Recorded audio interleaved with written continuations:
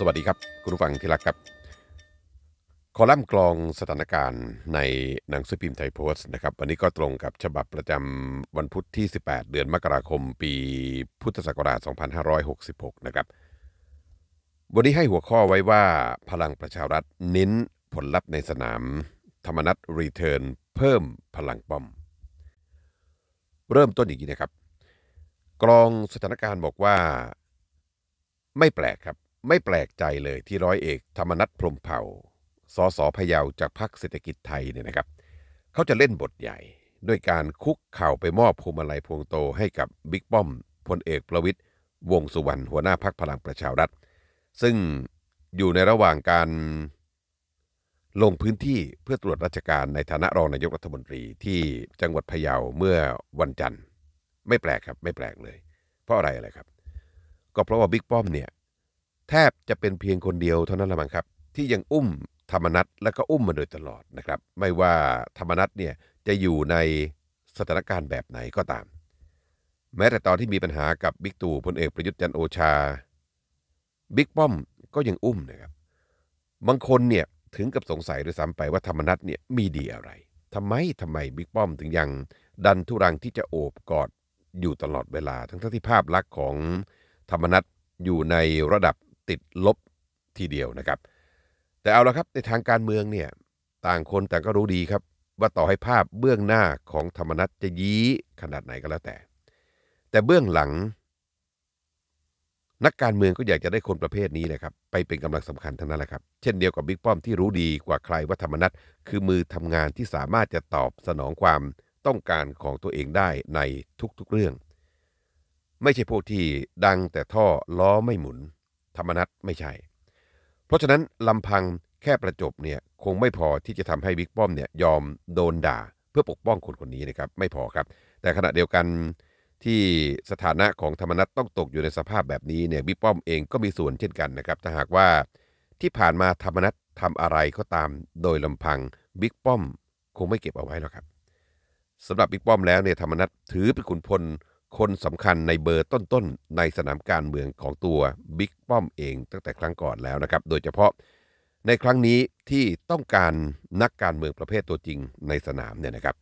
พรรคพลังประชารัฐ ในสนามเลือกตั้ง มีการเปลี่ยนแปลงไปจากเมื่อปี 62 ที่ตอนนั้นเนี่ยชูเอาพลเอกประยุทธ์เป็นหลัก แต่ครั้งนี้จะเน้นไปที่ตัวนักการเมือง หรือว่าสสในพื้นที่ที่มีคะแนนเป็นของตัวเอง เปลี่ยนจุดยืนเอาตรงนี้เป็นหลักนะครับ จุดแข็งของพรรครอบนี้เนี่ยคือตัวนักการเมือง ไม่ใช่ภาพลักษณ์ เพราะฉะนั้นต่อให้ใครจะยี้ใครจะปรามาสแต่บิ๊กป้อมเน้นไปที่ผลลัพธ์เป็นหลักนะครับ จะเห็นได้ว่าบรรดาบ้านใหญ่ที่ยังอยู่กับพรรคพลังประชารัฐเนี่ยไม่ว่าจะเป็นกลุ่มปากน้ำจากจังหวัดสมุทรปราการ กลุ่มมะขามหวานจากจังหวัดเพชรบูรณ์ กลุ่มชากังราวจากจังหวัดกำแพงเพชร บ้านรัตนเศษ จากจังหวัดนครราชสีมา และก็กลุ่มของร้อยเอกธรรมนัฐที่กำลังจะกลับเข้าพักอย่างเป็นทางการเนี่ยนักการเมืองเหล่านี้ล้วนแล้วแต่มีภาพลักษณ์ที่ไม่ดีในสายตาคนอื่น แต่กลับเป็นกลุ่มที่ประสบความสำเร็จในสนามเลือกตั้ง แทบจะทุกครั้งเลยนะครับ ถ้าหากจะบอกว่าจุดแข็งของพรรคพลังประชารัฐตอนนี้คืออะไรคำตอบก็คือตัวนักการเมืองที่เป็นของจริงในพื้นที่ ก็เช่นเดียวกับธรรมนัฐเนี่ยแหละครับ ก่อนหน้านี้เนี่ยไปพักไหนก็มีแต่กระแสแฟนคลับพักนั้น ไม่ได้ต้อนรับนะครับ แถมยังออกมาต่อต้านอีกต่างหาก ถือได้ว่าเป็นจุดแข็งหนึ่งของพลังประชารัฐด้วย เช่นเดียวกัน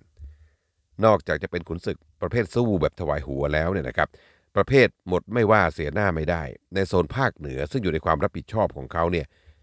ยังจะเป็นพื้นที่ความหวังของพลังประชารัฐในการได้สสมาด้วยนะครับ ทุกวันนี้จังหวัดพะเยาแทบจะเป็นธรรมนัตบุรีอยู่แล้วนะครับ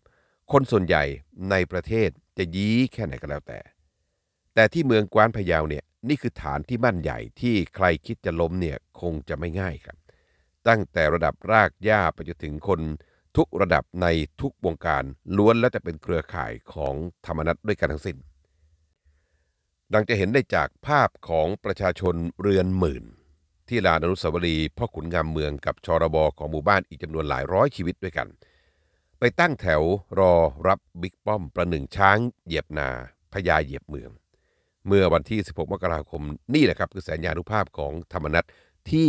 ทำให้เห็นได้นะครับ ในการเลือกตั้งที่จังหวัดพะเยาเมื่อปี 2562 เนี่ยธรรมนัตคือคนที่ทำให้พรรคพลังประชารัฐสามารถที่จะปักธงในพื้นที่สีแดง ซึ่งผูกขาดกับพรรคเพื่อไทยมาหลายปี ธรรมนัตทำได้ครับ สองที่นั่งจากสามที่นั่ง ในจังหวัดพะเยาเป็นฝีมือของธรรมนัตนะครับ โดยในเขตเลือกตั้งที่หนึ่งเนี่ยธรรมนัตกวาดไปได้ทั้งหมด 52,417 คะแนน ในขณะที่แชมป์เก่าอย่างอารุณีชำนาญยาจากพรรคเพื่อไทย ได้ไปเพียงแค่ 21,971 คะแนนเท่านั้นนะครับ เหมือนกับเขต3นั่นแหละครับ ที่เสียยุ้ยนายจิรเดชศรีวิราช ซึ่งเป็นคนสนิทของร้อยเอกธรรมนัฐเนี่ยได้ไปถึง 41,755 คะแนน ทิ้งขาดจากผู้สมัครจากพรรคเพื่อไทยที่ได้คะแนนไป 3761 คะแนน เห็นไหมครับ ไม่ได้เป็นเพียงแค่การล้มแชมป์เก่าเท่านั้นนะครับ แต่ว่าล้มแบบขาดลอยอีกต่างหาก ในขณะที่การเลือกตั้งครั้งหน้าเนี่ยมีรายงานว่าจังหวัดพะเยาเนี่ยธรรมนัตการันตีแน่ๆ สองที่นั่งคือเขตหนึ่งที่อาจจะลงเองหรือไม่กระส่งธนพรศรีวิราชภรรยาลงในเขตนี้ กับอีกเขตหนึ่งคือเขตเลือกตั้งของเสียยุยขณะที่เขตเลือกตั้งที่สองของนายวิสุทธิ์ชัยนรุนสสพยาพักเพื่อไทยเนี่ยก็มีเสียงลือเสียงเล่าอ้างดังมาสักระยะหนึ่งแล้วนะครับ ว่าอาจจะเว้นเอาไว้ในฐานะที่เข้าใจกัน เพราะว่าเป็นคนกันเองเท่านั้นแหละครับ นอกจากนี้เนี่ยนะครับยังมีกระแสข่าวออกมาอีกว่าไม่เพียงแต่จังหวัดพะเยาเท่านั้นนะครับ แต่ว่าพื้นที่ในภาคเหนือหลายพื้นที่ ตอนนี้มีการเปิดดิวเอาไว้กับพรรคการเมือง บางพรรคเพื่อหลบให้กันในบางเขต ไม่ว่าจะเป็นจังหวัดแพร่ จังหวัดน่าน หรือแม้แต่จังหวัดลำปางก็ตามเอาละครับในวันที่พรรคพลังประชารัฐเนี่ยเหลือแต่บิ๊กป้อม คนที่ตัวเองบูชาเหมือนพ่อ ว่ากันว่าเขาจะทุ่มแบบบทหน้าตักเพื่อพาเจ้านายไปสู่จุดที่มุ่งหวังให้ได้ เอาละครับ กรองสถานการณ์บอกว่าผลการเลือกตั้งเนี่ยนะครับ ไม่ว่าผลสุดท้ายมันจะออกมายังไงก็แล้วแต่ แต่การที่บิ๊กป้อมได้ธรรมนัตและพวกกลับมาเนี่ยมาทำให้พรรคพลังประชารัฐมีพลังมากขึ้นนะครับ